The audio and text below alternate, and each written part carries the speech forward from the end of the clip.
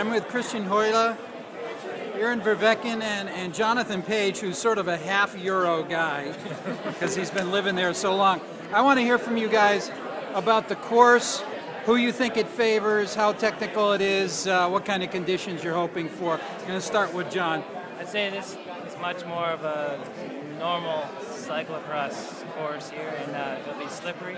Then Cross Vegas. And then Cross Vegas or, or any of the ones we've done so far because the weather hasn't has been really good, uh, except for of course. Uh, so yeah. you hoping for rain? I, am sure. I'm hoping for rain. I think it, it, will fit the three of us really well. That's all right, Christian. You had a you've had a great start to your season here in the U.S. and. Uh, I know you're a pure, uh, you know, a pure cyclocross guy. You hoping for sloppy conditions too?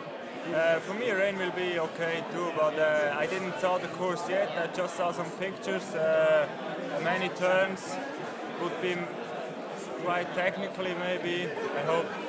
Have you heard about the steep run up? Uh, I heard about it, but I think it will not be uh, bigger than the one in uh, in Lakewood. I think you're. Yeah, I think you're right, but they've they've constructed the course so you have no chance to ride it.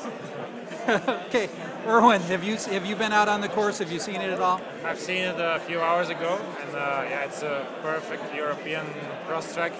I like it very much. It was raining a lot. Uh, it's very technical, but it's uh, yeah pure cross. And, uh, I think the strongest will win. What do you think is going to happen to the course tomorrow when when all those amateurs go out there and beat the course up for, for quite a few hours before yeah, you race? It gets a little more slippery, but uh, yeah, we are used to that, so no problem. So you guys are going to go back to Europe. You're going to go head to head uh, for this for this cross season for your last cross season. Yeah. Yeah. Uh, any any predictions as to who's going to uh, take the World Cup series this year? You want to you want to take a shot? World Cup this year? This year. Well, I think Nys is a pretty good. Uh, so guess, John's yeah. going with Sven Nys. Uh, at the moment, it seems to be uh, Niels Albert. Niels Albert. He's got a great following of, de- of beer drinkers. I'll say that much.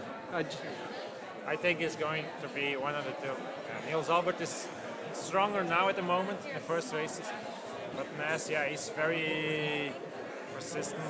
And if Nys has a bad day, he's still second or third. Niels might be missing one, one okay. stage, so I hope Lars Boom is listening to these interviews and uh, you can't count him out either. that motivates him. All right, thank you guys. Have a good race this weekend.